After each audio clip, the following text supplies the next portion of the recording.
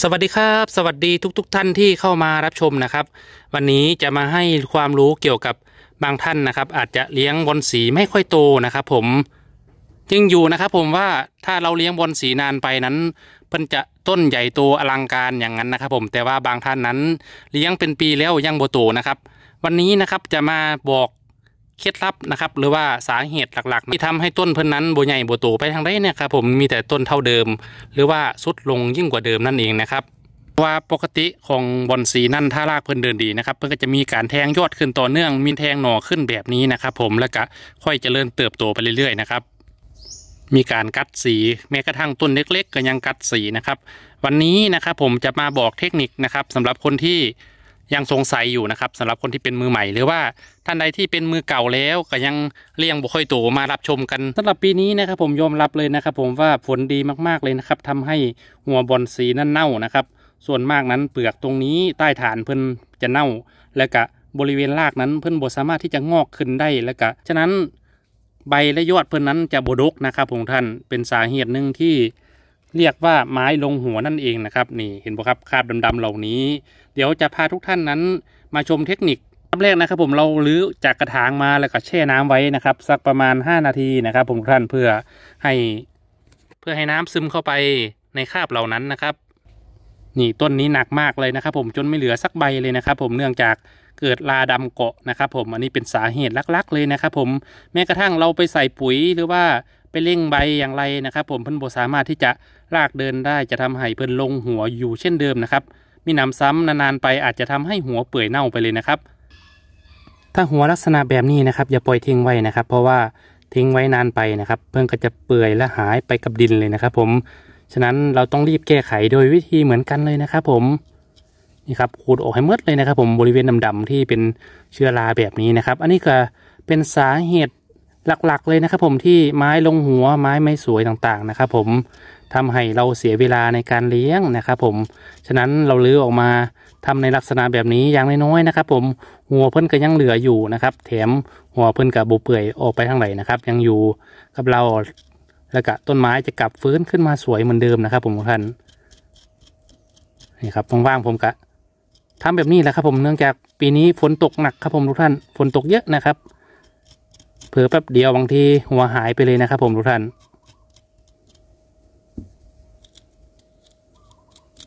นี่เห็นบ่ครับกินเข้าไปครับ จะสังเกตเห็นว่าหัวหายไปเยอะเลยนะครับ ผมที่แมงพื้นแทะกินหรือว่าเชื้อราต่างๆนะครับ ผมทุกท่านฉะนั้นเราทำความสะอาดออกให้หมดเลยเด้อครับผมทุกท่านเดี๋ยวจะเหลือแม้กระทั่งสายพันธุ์ที่เราซื้อมาแพงๆนะครับ นี่ครับมาชมกันนะครับผม นี่คือสาเหตุลักนะครับทำให้รากของเพิ่นบวเดินนะครับ ผมทุกท่านนี่คือคราบดำหรือว่าคราบลาดำนั่นเองนะครับลาดำตรงนี้นะครับ ผมสามารถที่เกิดขึ้นได้นะครับ ผมเพราะว่าอยู่กับดินอยู่กับปุ๋ยต่างๆนะครับ ที่เราใส่เข้าไปบางทีถ้านานไปเพิ่นเสื่อมนะครับ จะทำให้เพิ่นเกิดลาดำในลักษณะแบบนี้นะครับ ผมเราขูดออกเลยนะครับ ผมทุกท่าน เพราะว่าเนื่องจากปล่อยทิ้งไว้ เพิ่นกะบกค่อยแตกกอแถมยังไม่เกิดรากอีกต่างหากนะครับ ผมทุกท่านค่อย ๆ ขูดนะครับ ขูดไปสักพักเราก็เจอสาเหตุนะครับ เห็นบ่ครับตรงเป็นรูๆนี่จะเป็นแมงเจาะเข้าไปในหัวเพิ่นนะครับผมทุกท่านเราพยายามแคะเขี่ยออกให้หมดเลยนะครับผมทุกท่าน วันนี้มาทำความสะอาดหัวบอลสีกันนะครับ ผมทุกท่านวันว่างๆนะครับ เพราะว่าทุกๆบ้านนะครับที่ชอบปลูก นั้นก็มีบอลสีประจำบ้านอยู่แล้วนะครับ ผมไม่ว่าจะเป็นกอหรือสองกอก็แล้วแต่นะครับ เพราะว่าถ้าเราปล่อยทิ้งไว้นะครับ บางที หัวบอลสีเหล่านี้อาจจะเปื่อยและเน่าไปก็ได้นะครับผมใต้ฐานตรงนี้ก็สำคัญนะครับ ผมทุกท่านเนื่องจากตรงดำๆตรงนี้ เราพยายามขูดออกให้หมดนะครับ เอาพอประมาณนะครับบต้องให้เข้าถึงเนื้อลึกมากนะครับ ส่วนบริเวณโคนตรงนี้นะครับ ระวังนิดนึงนะครับ ผมเนื่องจากเพิ่นมีเขี้ยวตาเยอะนะครับ ผมทุกท่านนี่ขูดพอประมาณนะครับ ผมทุกท่านไม่ต้องลึกมากนะครับ ผมเป็นการกระตุ้นรากอะไรกะ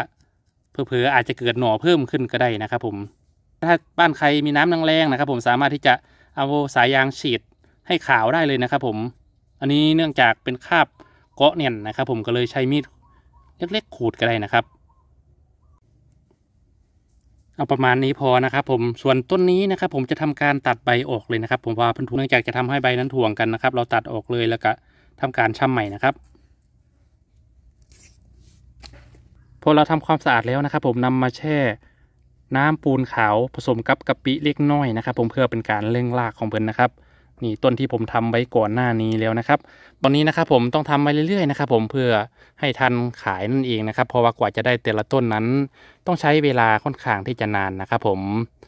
สำหรับใครที่อยากได้ต้นใหญ่ๆนะครับ หรือว่าท่านใดไม่อยากรอ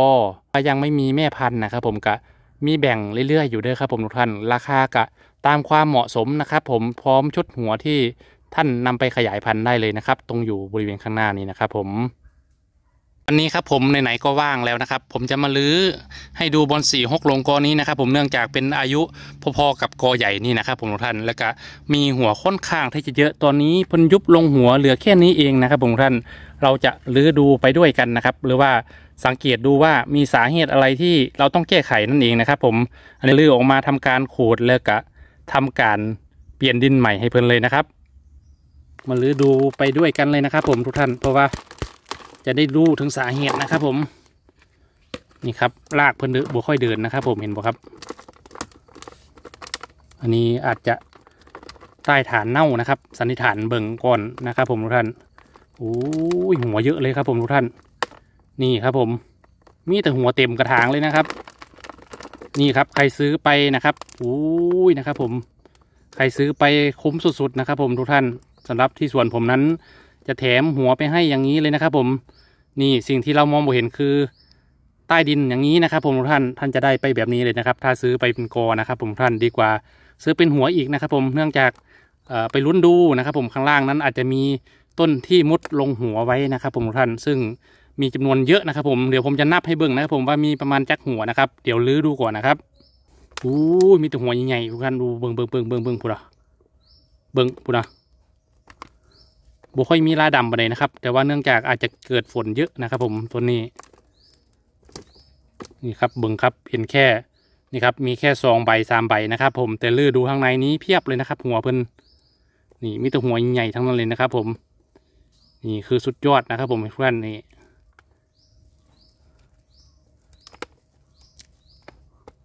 ต้นใดจะฮักจะยังกระสร้างเพื่อนนะครับผมทุกท่านไหนๆเราก็จะทำใหม่อยู่แล้วนะครับ เห็นบ่ครับมีแค่ใบเดียวน้อยๆนะครับ ผมแต่ข้างล่างนั้นหัวใหญ่นะครับ